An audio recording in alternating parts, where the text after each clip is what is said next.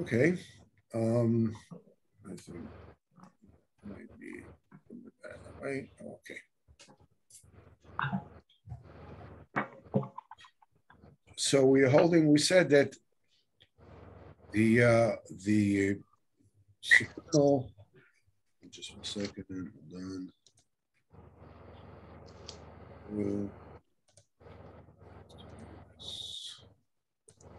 Okay. Welcome to the Likutey Moharan Shir, Torah Chofei 25. And we're in the middle of paragraph four, Dalit. So we said that the way to, to uh, defeat and bring down the um, the klipot, sitra achra, is by expressing and exposing the greatness of HaKadosh Baruch Hu. And the greatness of HaKadosh Baruch Hu is, is expressed by the uh, supernal colors of silver and gold which represent the sphere of Chesed and Gevura. And um, now we're talking about the the these are the the these supernal colors are a quality in the light itself.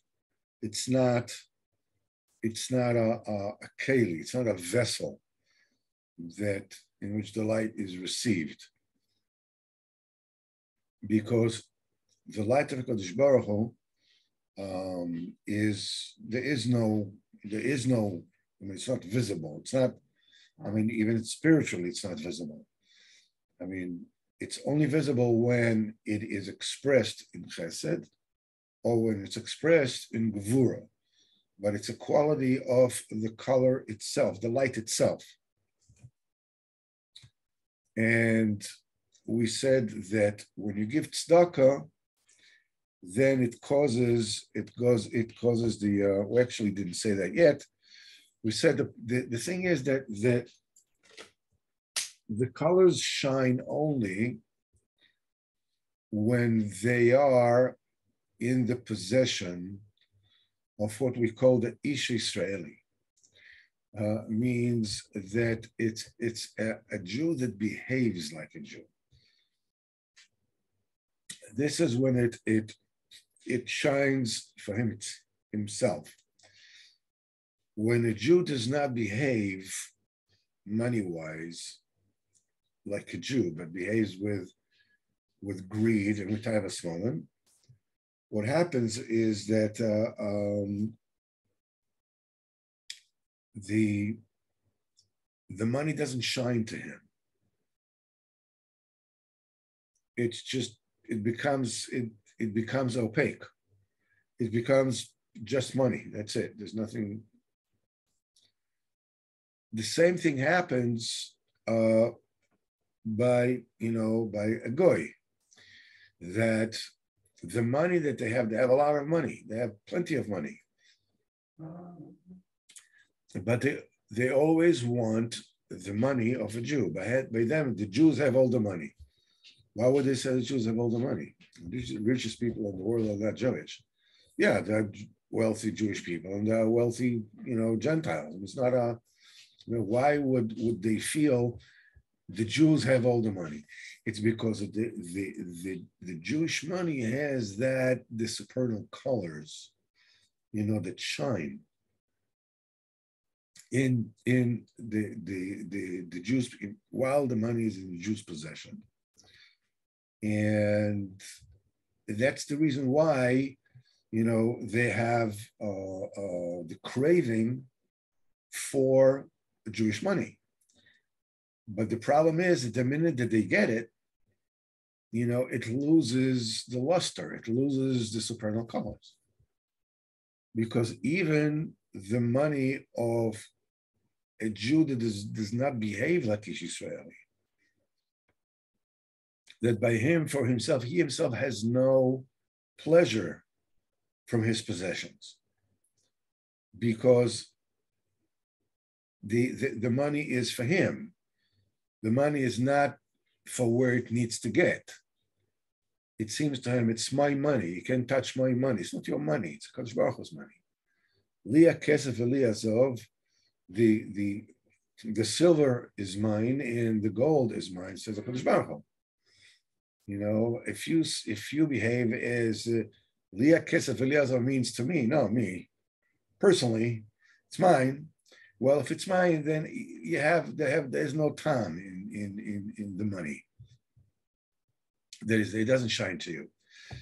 Comparatively, even a Judah does not that the, his own money doesn't shine to him.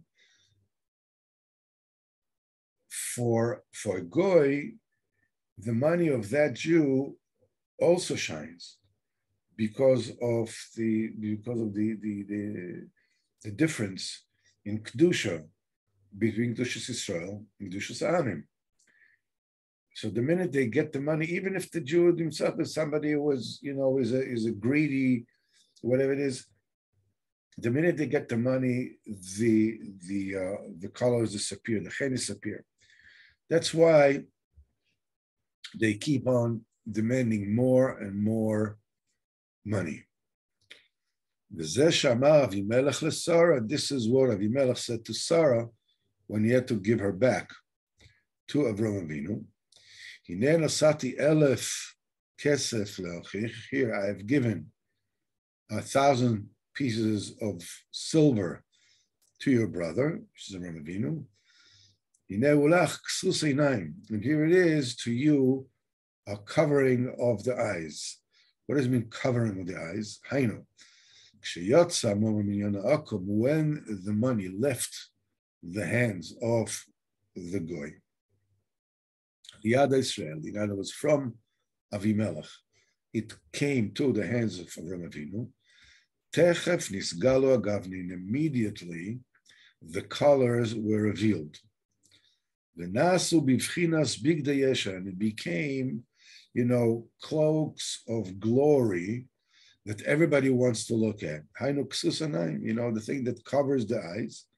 Shakol mistaklim that everybody yearns to look at them. Shakol mistakal That's why you see, you know, in in in, in fashion shows and uh, all kinds of things in magazines with fancy clothing, whatever it is, because people love looking at, at, at glorious clothing. And the, the, the colors which shine in the money is the clothing of the, the, the, I mean, the reason why there's such a pleasure to look at glorious things. I mean, somebody passes in the street with a Rolls Royce or whatever. Um, everybody looks at it. Why? Because whenever there is a revelation of glory, of pride, the people crave to look at it. The reason why this is happening is because the glory in, in, in any kind of glory, whether it's physical glory, it's of clothing, of, of, of, of possessions, is a derivative, albeit very low, but it's a derivative of the glory of HaKadosh Baruch. That's why when somebody has a lot of money and he has things, you know, he has clothing that are very, very uh, glitzy and, and, and fancy, uh, everybody likes to look at it. Automatically, they're drawn to look at them. So when the money came out of Avimelech to the hands of uh, into the hands of Avram Avinu, meaning that it came out of the rishus of the the the goy and came into rishus of of a Jew, then the the the hidden supernal light, divine lights that shine in the money, you know, became, you know, started to shine again.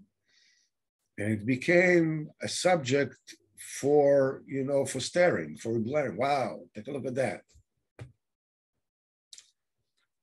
And is and okay, so now we are saying is okay, how can you make the question now? Because how can you make the uh, remember what we're talking here is which we're revealing, we're trying to reveal the glory of HaKadosh Baruch Hu, and the purpose of it is that when the glory of HaKadosh Baruch Hu is exposed, the kind of confusion and difficulties and hurdles that that come up when you go between one step in avoidance in, in spirituality to the next one, there is the snowman zone where you get all confused and you get all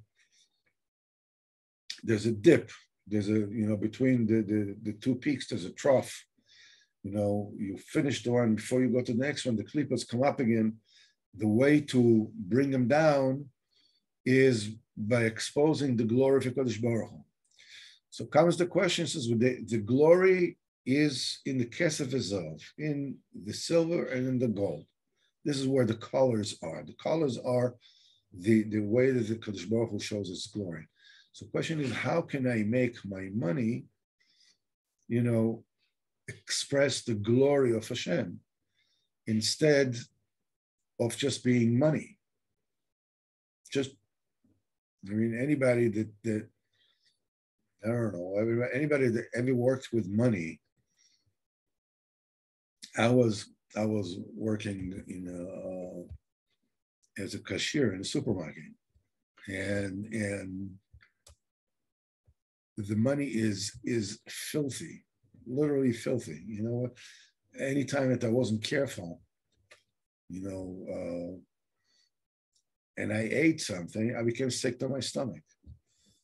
I mean, it's it's it's what's what's what's the big deal? You have stacks of money. I mean, what's the what does it do?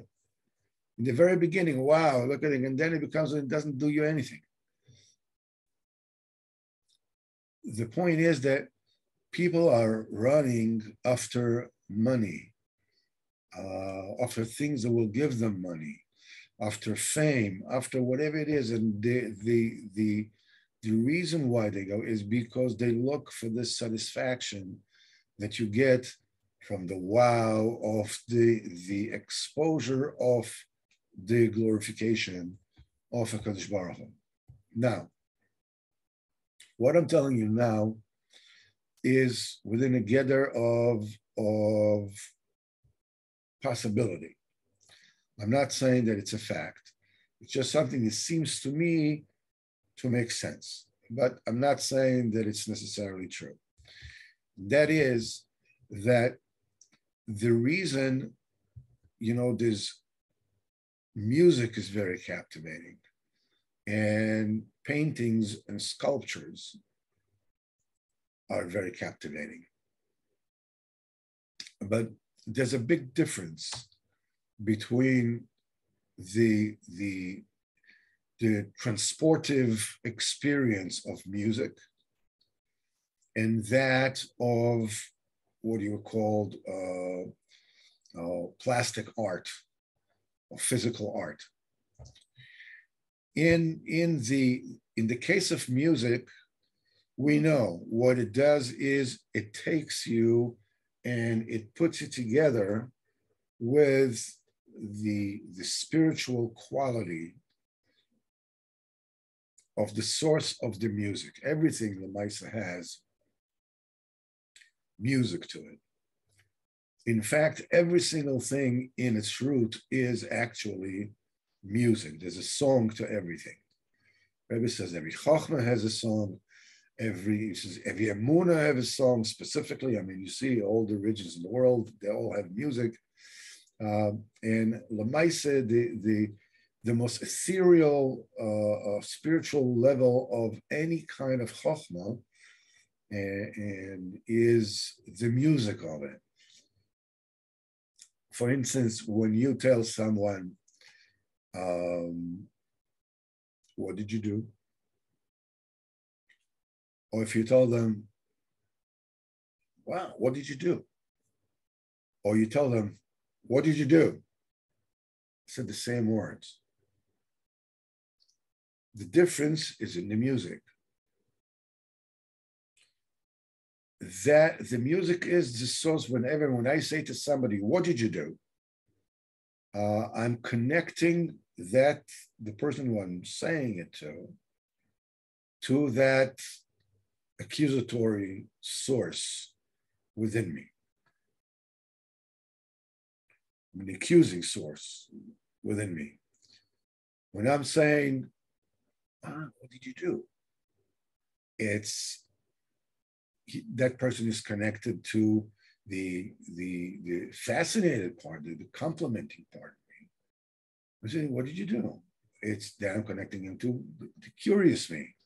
Whatever it is, it's all in the music. When it comes to art, I mean, painting, sculpting, the it's not that it doesn't take you somewhere else the way music does. You know, when music it says Levi. Levi is the musician. Leah said, Apam Yelove Isha, why she called Levi? This time my husband will accompany me. In other words, Levi is going to bring them together. Music brings you together to the source. If it's the source of music is is tumadik, is what they call, you know, fallen loves, you know, lust, whatever it is, then it brings you there. And if it's holy music, it brings you, you know, to holiness. But and he, here's where the, the the the speculation part comes in. When you're talking about uh, paintings and sculptures, this is this brings to you uh, a ha'ara, uh, uh, an illumination from the source of where this came from, and it brings it to you. It doesn't take you to the source, it brings the source to you. It's not for nothing that that music is allowable, but but uh, paintings and, and sculpting, unless it's under specific conditions, is assur. And the reason the, the, the reason that is, however, you know you should know that in the base of Hamikdash itself, the Tikkun Azar says, in the Kodesh HaKodeshim, the Holy of Holies, uh, Kodesh Baruch Hu projected his Shechina, his Kedusha, his, his, his godliness into it, because the the walls were uh, painted with with the the the uh, the paintings of the deeds of creation, of creations. It was art of the highest level. And of course, you have the Kruvim. The Kruvim were basically, they were, you know, holy sculptures. And uh, every single thing in the Beis Hamikdash was very specifically made in a way because it emanates, it emanates the the the the kedusha from the source, the kedusha Kodesh Baruch uh, paintings and sculpting, unless it's unless forbidden, because it what it does and that's the reason why art is so revered. And anybody who is considered to be an artist of any kind of note is immediately put on a pedestal and uh, within a very wide margin can get away with murder. Um, because, and this is what my speculation is, is because art represents an expression of glory that does not disappear. You can keep on looking at a painting, you know, of, of a great artist literally for hours. for hours. Because what you what you're actually looking at is you're looking at a, a direct projection of divine glory that is going has gone through without the filters of kedusha and morality.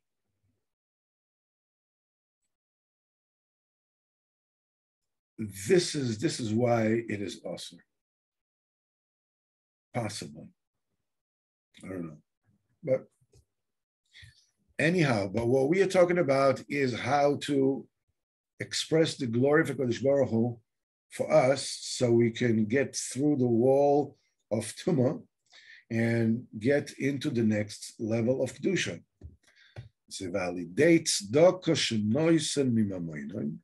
and through tzedakah that a person gives from his own money, nistaken kol mamonoi. The, all the money of the Jew is being rectified. V'nisgalin agavnin umeirin.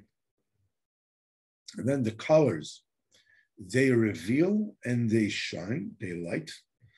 V'nasa kol mamonoi, and it renders all the person's money Bivchinas in Lia Kesef Velia The the the silver is to me and the gold is to me.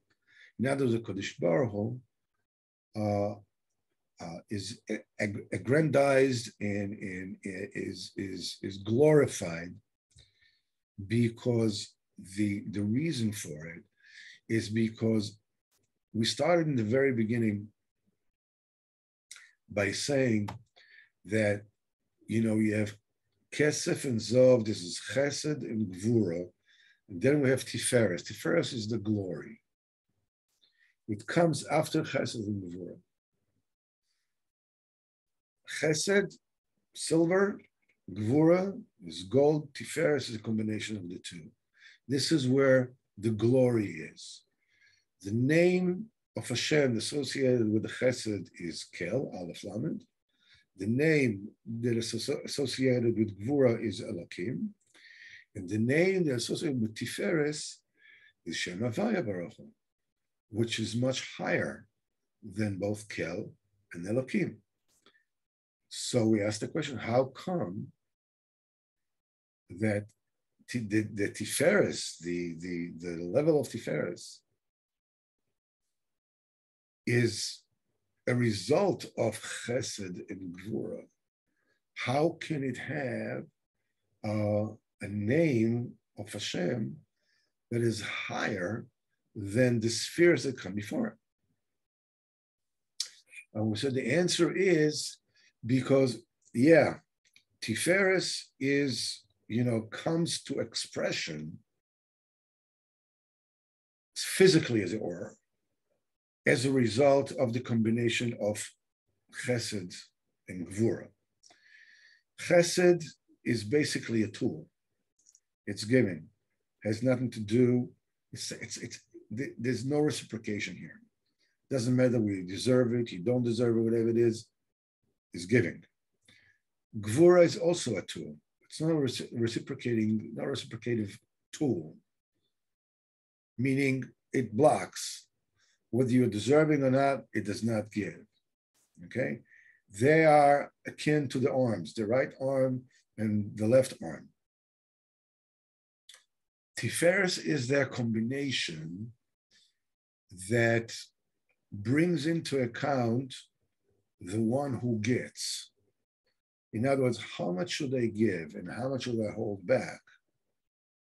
Commensurately with the ability of the receiver to receive. So Lemaisa Tiferes is the culmination of the purpose of the Chesed and Gvura.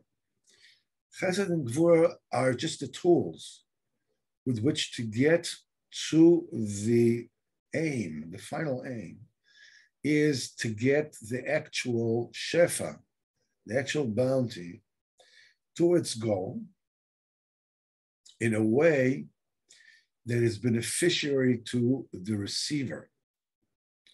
That's the whole idea. In other words, yeah, chronologically, Tiferes comes after Chesed and Gvura. But ideologically, Chesed and Gvura exist in order to enable the Tiferes. That's what Tiferes has a much higher name. Arizal says that Shem Havaya Baruch Hu represents the perfection of giving. He says the first Yud represents the coin. The first Hey of Shem Havaya represents the five fingers of the givers that hold the coin. The Vav represents the arm of the giver as it is stretched to give the coin. And the last Hey represents the five finger of the hand of the poor person that receives the coin.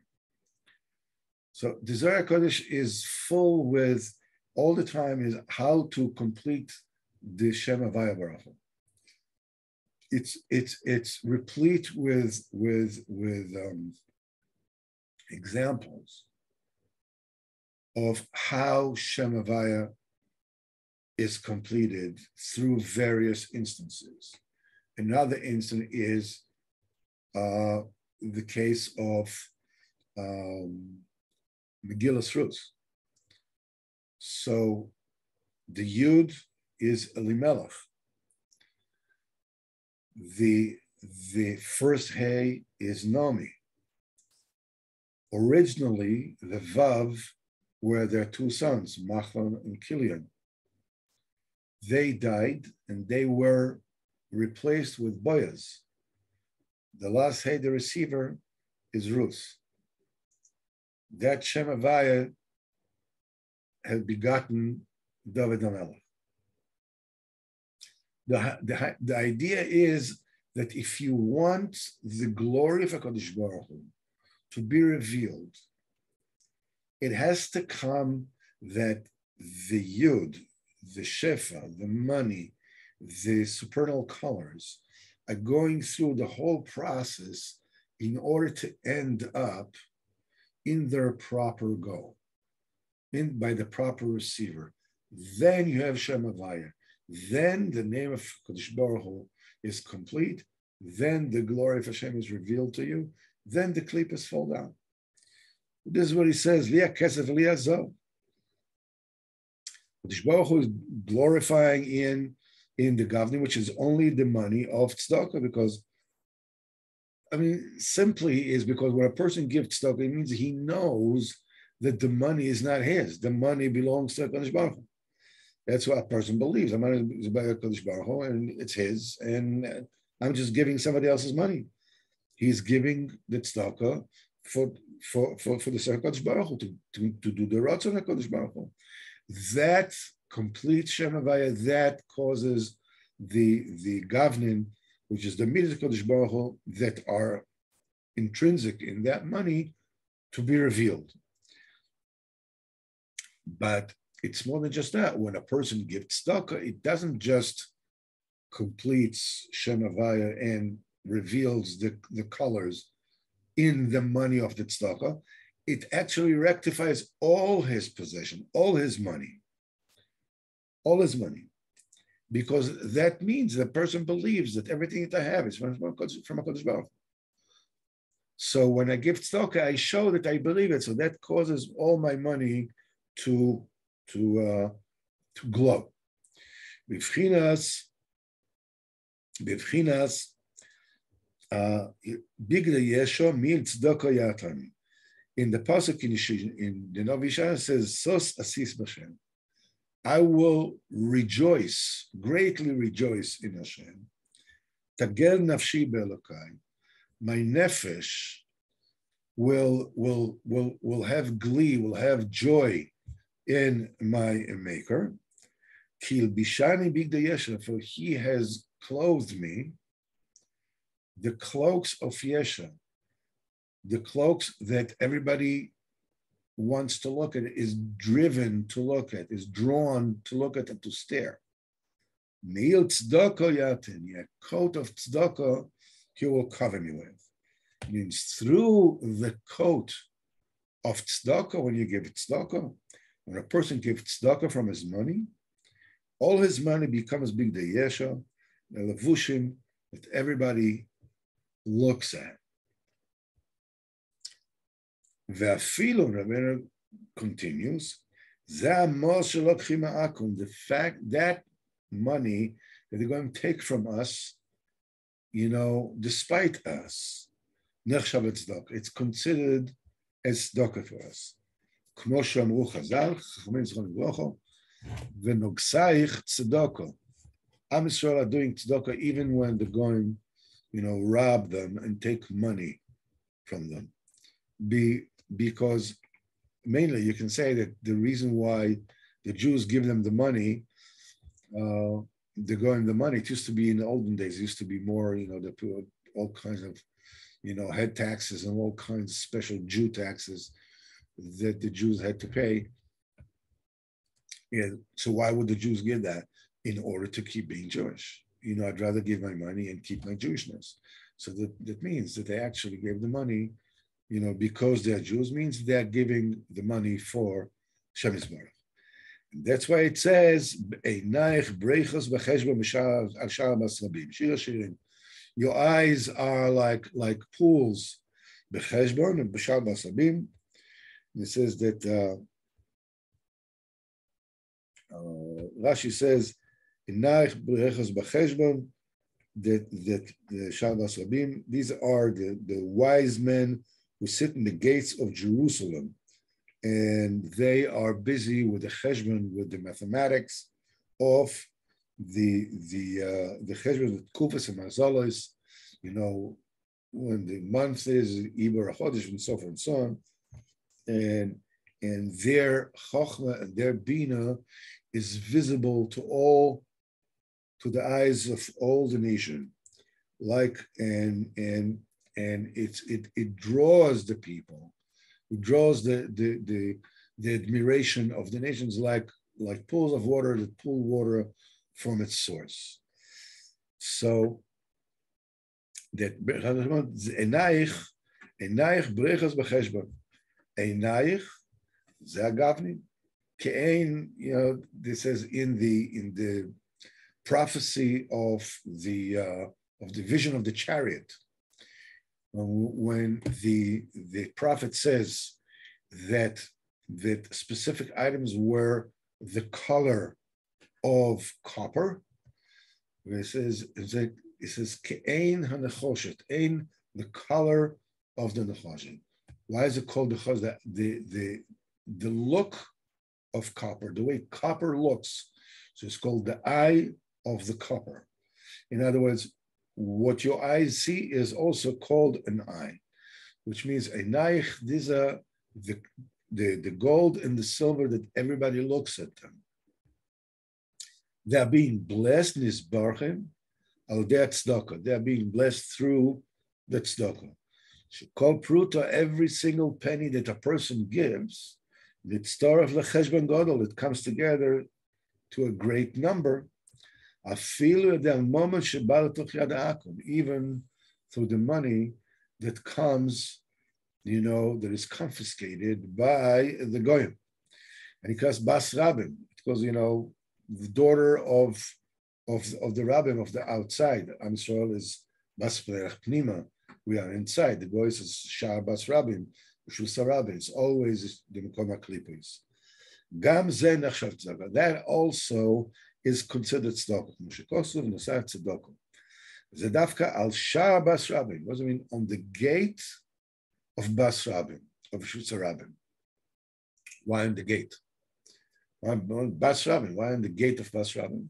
Rabbeinu says al shazar kshadain al shar when the money is still on the gate between the Jew and the goy, then the money shines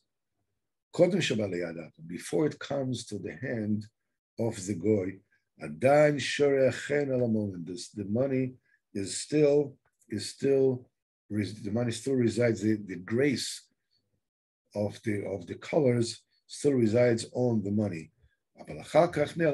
Afterwards, the the grace disappears.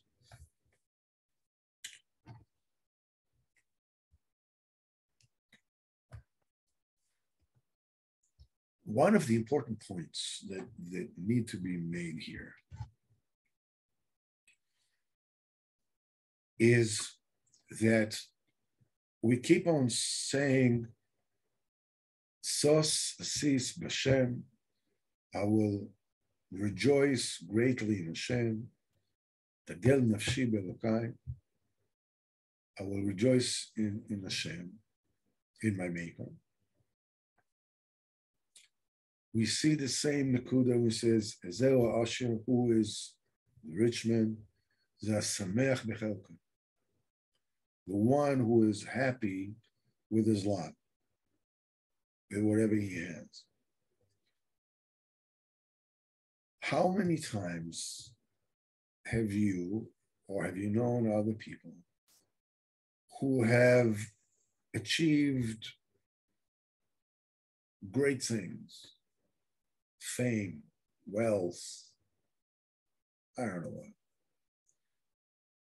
and you go and you go like, wow, this is so unbelievable. What I've been able to achieve, or what that person has been able to achieve. And then that person looks, or you yourself, you know, judge into yourself, say, are you happy?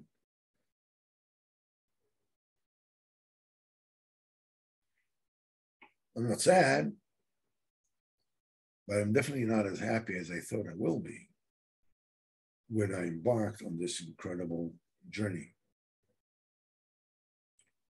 Needless to say that that all endeavors that are are that include in them uh, chicanery and and and, and deception um, or anything immoral. There's never any joy in them. The need here is for us to understand that everybody, when you ask people what they want in life, I want money, I want this, I want this, I want that. How many actually say, I want to be happy. I want to be Simcha.